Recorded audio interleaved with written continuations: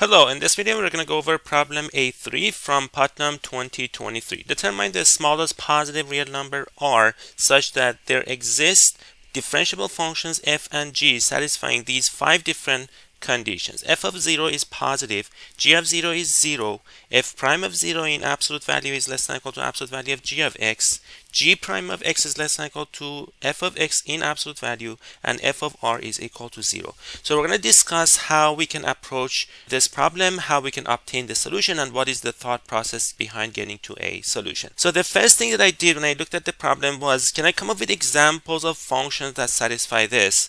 If you look at the third and fourth conditions, sine and cosine satisfy this property. Derivative of sine is cosine, derivative of cosine is negative sine. So if I take sine and cosine, they satisfy third and fourth property.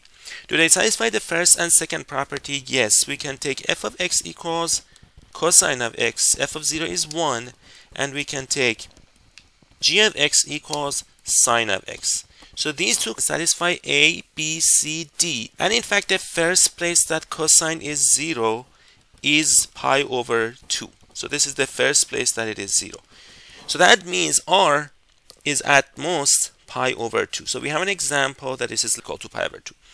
Then I tried a couple different examples of uh, linear functions or quadratic functions and none of them really gave me something better than pi over 2. So then I suspected that perhaps the answer is in fact pi over 2. So let me tell you how I approach these kinds of problems. One of the things that we usually do when we are dealing with inequalities and derivatives is to use this fact. So if you have f of x is less than or equal to g of x, then you can integrate both sides of the inequality. So integral of f of x is going to be less than or equal to integral of g of x as long as you're going from a smaller value to a larger value. So I was trying to get to something like that.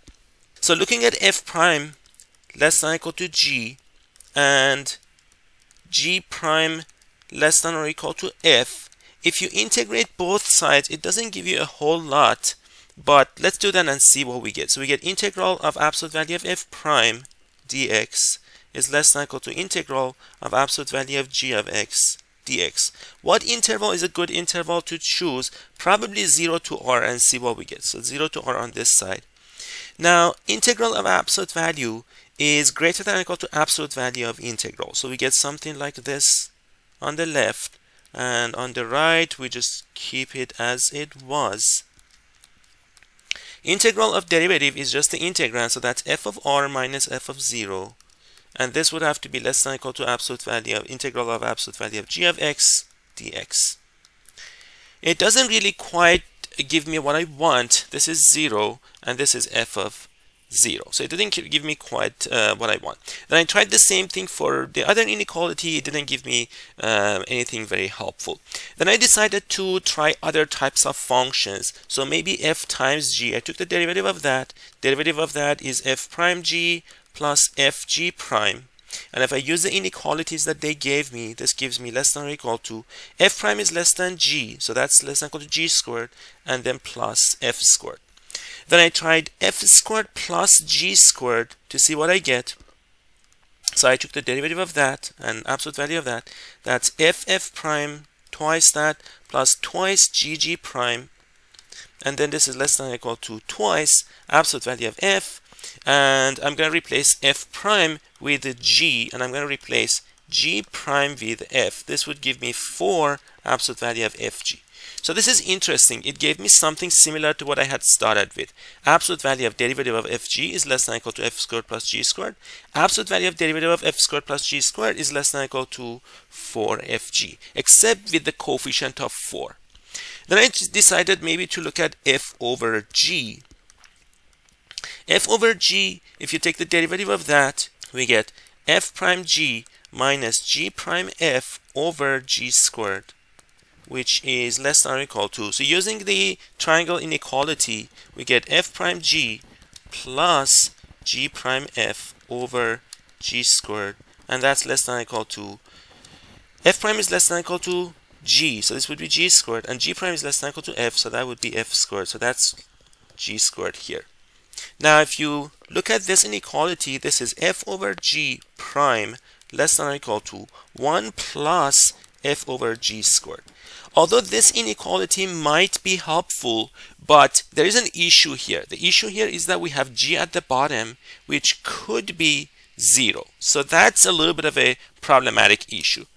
But one of my very smart students in fact suggested a very good idea here. So if you look at this inequality, this motivates the tangent inverse. If you look at this inequality, you get this is less than equal to 1. That's exactly the derivative of tangent inverse. If you look at the tangent inverse of f over g, derivative of that is exactly what I have here. So that's less than equal to 1. But I still have the issue of 0 at the bottom. How do we resolve that issue? Well, instead of doing f over g, we could do g over f. So how do we now uh, go about solving the problem? So define this function tangent inverse of g over f and then take the derivative of this one. We can take the derivative of this over the interval from 0 to r. So this would be derivative of g over f divided by 1 plus g over f squared. So this is equal to, I'm going to put the absolute value. At the bottom I get 1 plus g squared over f squared. On top I get f squared at the bottom, g prime f minus g f prime. And then we take the absolute value, which is less than or equal to. f squareds cancel. We get f squared plus g squared at the bottom and then we get absolute value of g prime f plus absolute value of gf prime which is less than or equal to f squared plus g squared over f squared plus g squared which is 1. This is true for every x from 0 all the way to r because we know r is the first positive 0 of f. Okay, so this is nice. Because of the inequality that I have here, I can apply integral now. So I can say integral from 0 to r of derivative of tan inverse of g over f dx. I'm using the fact that absolute value of integral is less than or equal to integral of absolute value. Then we are going to replace the integrand by its maximum, which is 1. So this would be integral from 0 to 1 of 1 dr, and that is r. So what is the integral on the left? Integral on the left is tan inverse of g over f evaluated at r minus tan inverse of g over f evaluated at 0 by the fundamental theorem of calculus. Okay, so this is really nice because this guy, because f is 0 at r, this guy is plus or minus pi over 2 minus, this guy is just 0. So this gives us r is greater than or equal to pi over 2. Except there's one issue with this argument. And the issue is if you look at g over f at r, this is going to give us, so basically tangent inverse of that is in fact pi, plus or minus pi over 2 unless g of r is also 0. So is it possible that g of r is also 0?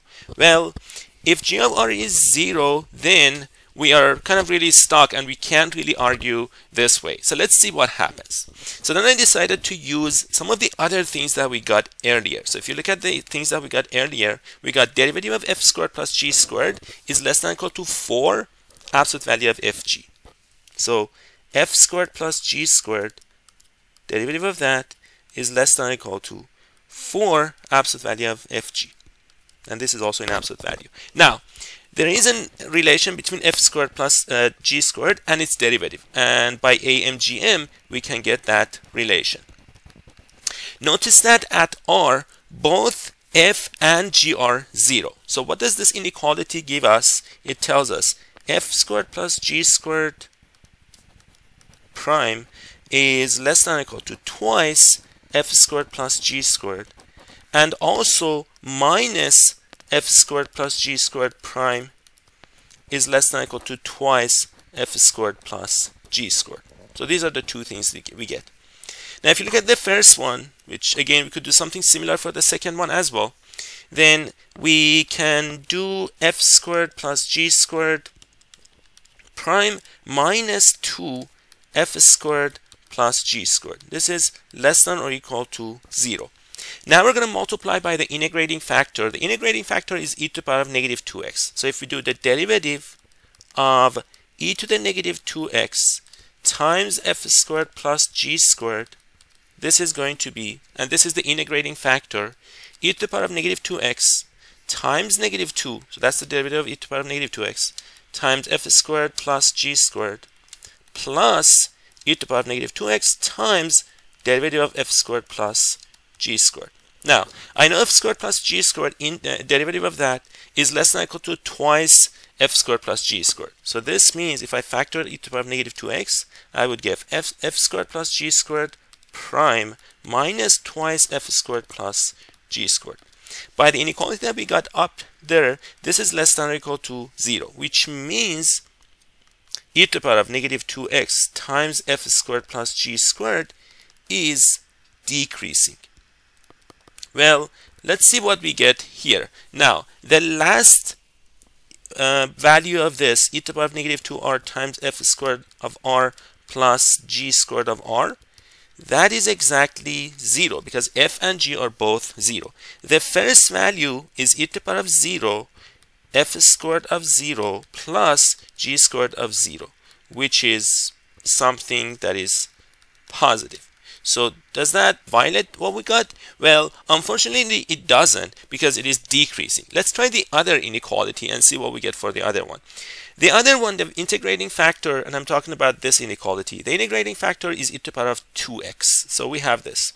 We have 0 is less than or equal to f squared plus g squared prime plus twice f squared plus g squared.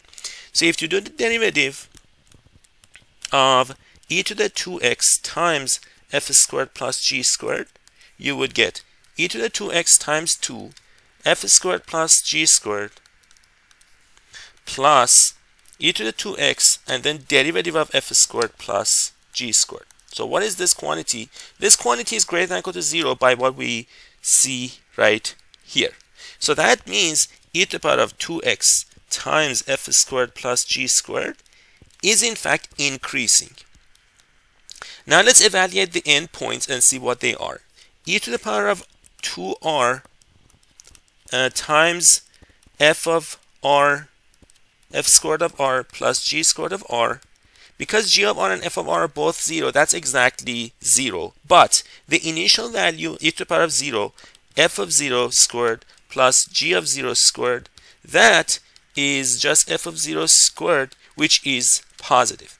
So at 0 it is positive, at r it is 0, so it cannot be increasing, which means g of, z, uh, g of r is not 0, which means when I do the tangent inverse of g of r over f of r, which is really, if I were to be more rigorous, this is really just the limit of g of x over tan inverse of g of x over f of x as x approaches r from the left. This is exactly plus or minus pi over 2, which means pi over 2 is the answer. If you like this video, make sure you subscribe to the channel and check out the rest of the videos on my channel. I will see you in the next video.